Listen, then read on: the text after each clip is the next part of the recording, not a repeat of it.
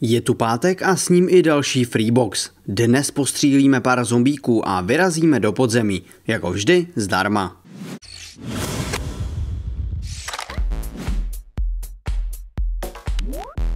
Pravidla jsou nesmírně jednoduchá. Čím více šťávy máte, tím dál se dostanete.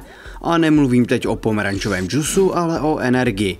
Tato jednoduchá a rychlá hra vám umožní ovládat Androida, který se rozhodl zaběhnout maraton. Na rozdíl od lidí mu však nestačí vydatná snídaně, ale neobejde se bez pravidelného doplňování energie.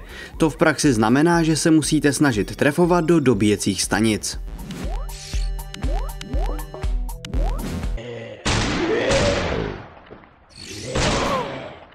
Někdo by s tím měl už něco udělat. Zdá se, že ač ve hrách zničíte zombíků kolik jen dovedete, další se znovu objeví.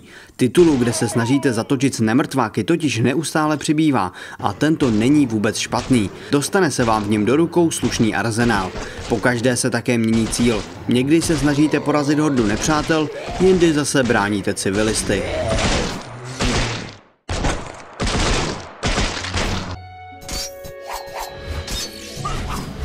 Tajemný čaroděj napadl hrad a bez sebe menšího problému zlikvidoval stráže a nadělal z nich chodící mrtvoly.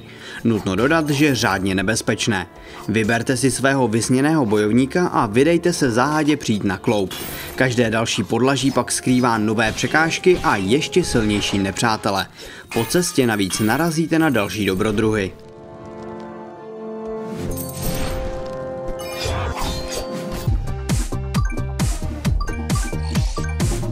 Příkaz zněl jasně, otáčej se. V této nové hře od Ketchup se vydáte na nepravděpodobnou výpravu za sbíráním zlatých kuliček. Stačí se přitom vyhýbat překážkám a dovalit se co nejdál. Ovládání je rovněž snadné. Vaše postava se automaticky kutálí vpravo a pro změnu směru stačí přidržet prst na displeji.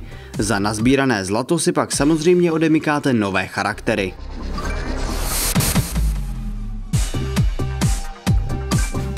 Je to vlastně docela realistický. Z hospody taky nejdete rovně, ale zleva doprava.